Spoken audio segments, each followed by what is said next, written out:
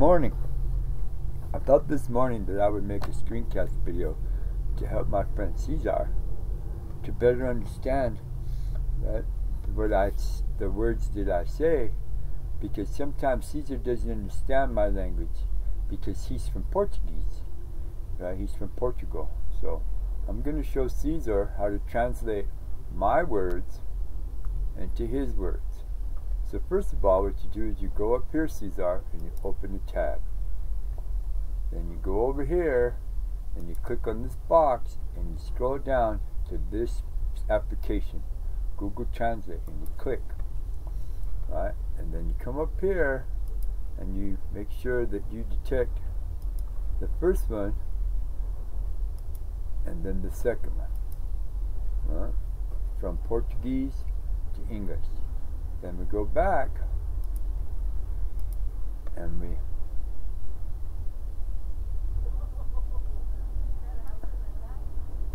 copy, control C,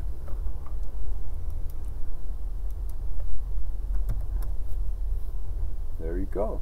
It's that simple. Now that's the first way to understand from Portuguese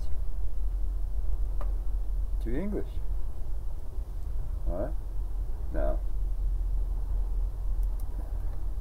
another way, simple way to do it right here is to right click and then go down to translate and then see right here it's been translated and then it translates your words into English. See? Then that way, right, you can come over here and you can make a reply. Right? You click right. right. This video is for my friend C.E.S. Cesar. Hmm? My friend Cesar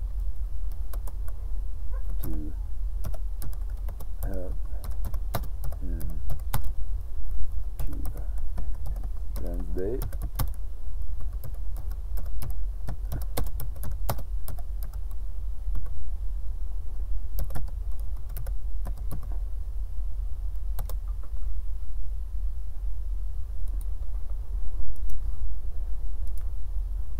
and then you just click a reply it's fairly simple right? And then you go back up here to show the original and it puts you back in Portuguese. See Cesar so it's really fairly simple.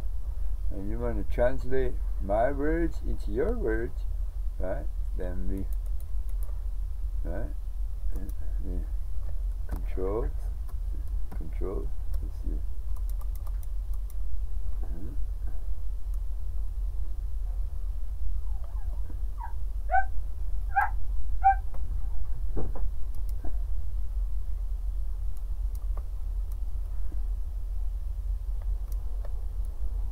C. Go up to here. Open. Translate. And go from here. Uh, click this one.